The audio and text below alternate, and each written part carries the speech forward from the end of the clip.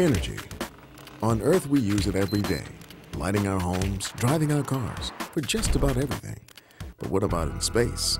In the future, NASA's astronauts will need energy resources in order to live and work on other planets. In the 1990s at the University of Arizona, K.R. Sridhar and his team were working with NASA on a technology that could use solar power to convert CO2 on Mars into oxygen for breathing and fuel. The relationship is that you're taking electricity, typically from solar panels if you're on Mars, and you electrolyze CO2 and what you get at the other end is oxygen and fuel. And the fuel in this case is carbon monoxide. Sridhar had an idea for another application of the technology for here on Earth. By reversing the original concept, the device had the potential to take oxygen and fuel and generate energy. Literally, if you just turn the wires around like this, you can make something that behaves like a fuel cell. Now, it's not, it, it, it's not the kind of fuel cell that you could commercialize. There's a lot of, lot of changes that you need to make. But, um, but the physics works. In 2001, KR and his team moved to the NASA Research Park at Ames Research Center to foster the development of their new fuel cell idea. Now known as Bloom Energy, the firm is located in Sunnyvale, California, where they are producing solid oxide fuel cells based on the original NASA work. An electrochemical device, a solid oxide fuel cell, can produce electricity directly from oxidizing a fuel.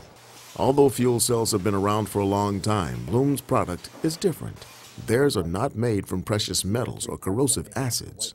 We use the phrase powder to power a lot, and the reason for that is, as you see here, just about all the elements that go into the, the cell itself start out as readily available powders from different places on Earth. We turn those powders into inks using, again, some chemicals and other materials. And once we've got inks, we paint the inks on these cells using a process that's a lot like what you would use to silk screen t-shirts. Besides its materials, Bloom's fuel cell has a couple of other advantages. They're high temperature, making them fuel flexible and very efficient. Which means twice as much electricity for the same amount of fuel, or half as much carbon for the same amount of electricity. The technology is also reversible. We can combine it with renewable but intermittent technologies like solar and wind.